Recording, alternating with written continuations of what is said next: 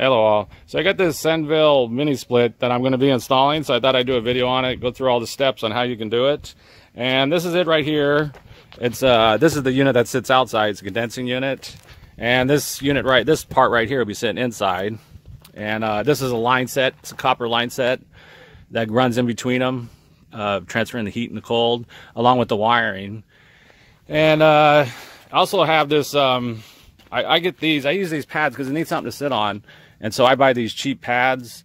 If you have cement already, you won't have to worry about it. You could just set on that. But uh, either way, you need something solid to sit on. So that's a personal choice. And you're also going to need um, uh, a vacuum pump, which I got this. I got this on Amazon. I think it was for $50. And some vacuum gauges. I got these for, I believe it was uh, 35 So uh, I'll be putting all the links inside the description for all these. And uh, you also need some electrical. This electrical doesn't come with it, so that'll be separate. And we're going to be installing the unit over here. And usually you just drill a hole through the wall. You run the line set on the outside and put a cover on it. But this right here looks like we could take this panel off and run it up the wall, inside the wall, which is a lot better. That way it's all hidden. So that's where I'm at. And uh, so I'm going to go ahead and get started and I'll be right back. Okay, so I got the panel off and I got a hole cut out, basically where the line set's going to be running up. Like I said, uh, most people just drill straight through a wall and they'll put a line cover kit on uh, after they run it outside on outside the wall. But this is going to be much more easier to run inside the wall since uh, it's just got this paneling on it.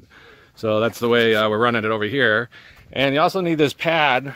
But and uh, like I said, if you have cement outside, then you just set it on that. It just needs something solid to sit on. But these pads, they're really cheap. And uh, all you want to do is just uh, level it up and make sure it's level. So it's got something solid and flat to sit on. But that's basically it. So that's where I'm at right now. And I'll be right back. All right, so I'm back. And this is the inside wall unit. I got it out of the box here. It's going to be mounted up here somewhere. I'm at the drill a three inch uh, hole through the wall. So I'm at the figure where that's at. And this is all the instructions it comes with. Whatever you do, be sure to read the installation manual that comes with yours because uh, I'm showing you how I'm installing mine, but be sure to follow the instructions that come with your unit. And this everything comes with comes with the remote, the manual, remote control illustration, uh, a mounting bracket for the remote, and some other, even comes with some batteries here. And uh, what we need to do is we need to take this bracket off the back and mount it first on the wall.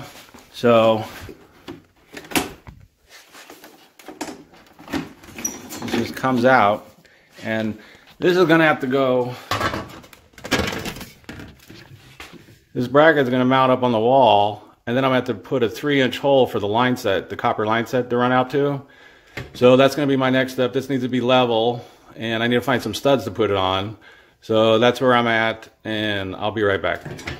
All right so I'm back and I got the bracket up there. It was a little bit of a pain trying to find some studs but I finally got it up there and uh, I didn't use their screws. I used uh, some regular wood screws to hold it up. They send this little bag of, uh, of these screws to stick in a sheetrock, and I didn't really like the way they look, so I just used some wood screws. They'll probably work, but uh, I just use wood screws. But anyway, I got the hole drilled, and uh, there it is. It's all level. And here's the unit. And so this, this is the line set. I bent it out. It's just going to have to go out the hole. Be careful when you're bending this line set because it can't kink. It's, it's really easy to bend. And if it kinks, it'll block the refrigerant and it won't work that well. So just bend this stuff really slow. Be very careful with it. And the next step is to wire in this electrical. So here's the electrical line that was outside in that box. And I got this panel open. And as you can see, uh, here's electrical connections. It's fairly simple. The outside will have one, two, three, and I need a color code match these. And there's also right here on the door, there's also a schematic, and there's there's also one inside the manual. So, so whatever you do, be sure to follow what comes with your unit, because uh, you know things can change, and there's different size units too. So you definitely want to match this to this. But basically, uh, what what what you want to do is uh, this inside of here will say one, outside is going to say one, inside here it's going to say two, outside is going to say two, and so on. You want to make sure these colors match uh, when they go outside. So I'm going to go and wire this up. I'll show you how I do it, and I'll be right back. Okay, so there it is. I got it up there on the wall. And I did the electrical, and uh, as you can see, it's right here. And uh, uh, the wiring color code was a little different than their schematic. But like I said, that doesn't really matter because outside on the unit, you're going to have one, two, and three. Just make sure your color codes match. If, uh, if you do get a different, hopefully you get uh, wiring that matches your schematic. But it's pretty simple. That's it. That's the inside unit mounted on the wall. So I'm going to go outside and get started on bolting that all up. And there's the unit. It's on the pad. It's ready to be hooked up. And this is the line set coming out the back of the inside unit that's on the wall. So these lines, this uh, copper line set is going to be bent down. It also has a water line that needs to be hooked up. And uh, so this is going to be bent down. Be, like I said, be careful when you bend this because it can kink. You know, just take your time with it. It'll be okay. And uh, here's the line set that goes in between. As you can see, you got the bolts on on each side. And uh, here's where it bolts on to the to the outside unit.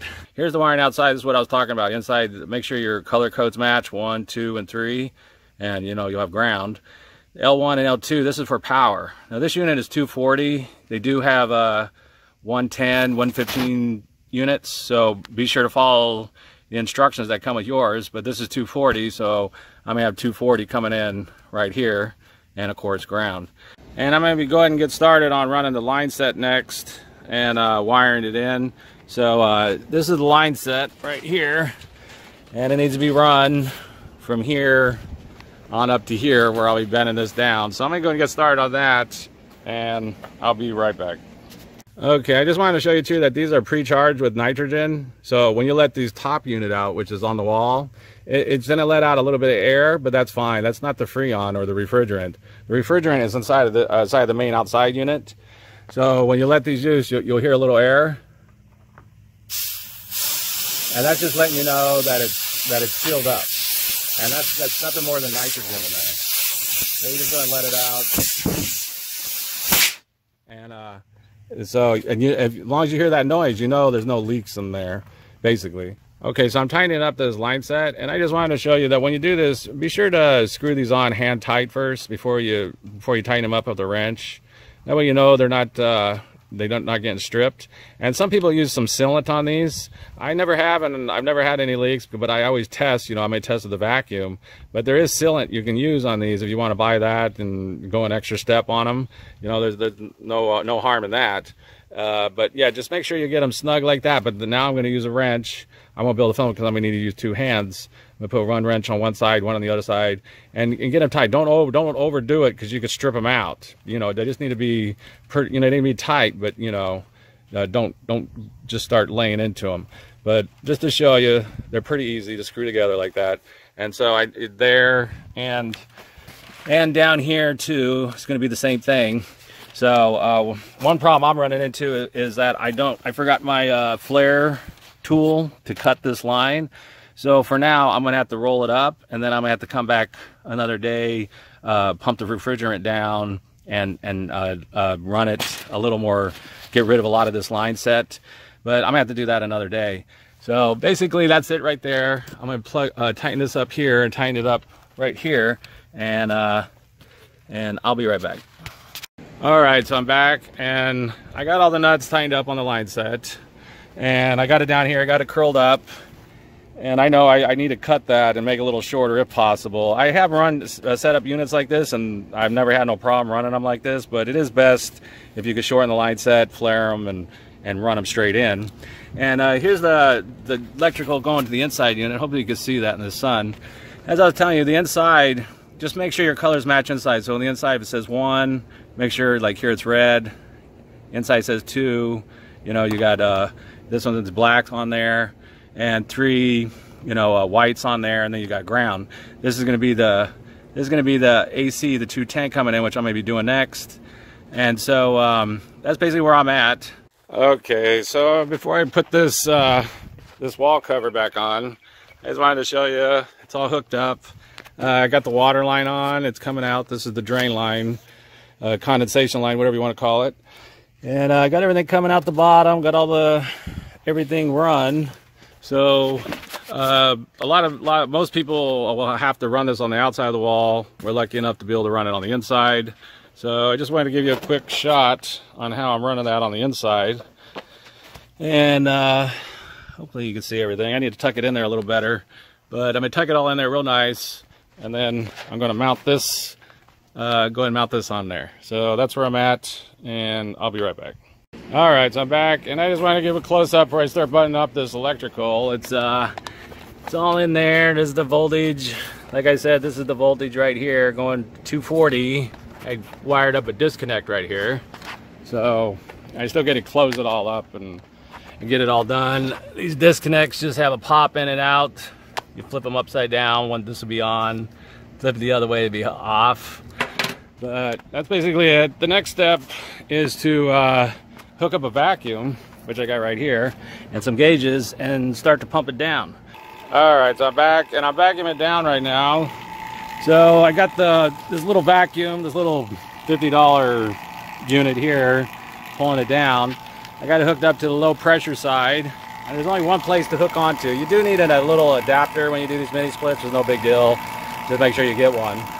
And so basically, I'm just going to sit here and watch this this blue gauge, which is low pressure. It was at zero when I started, and it's going to pump it down into a vacuum.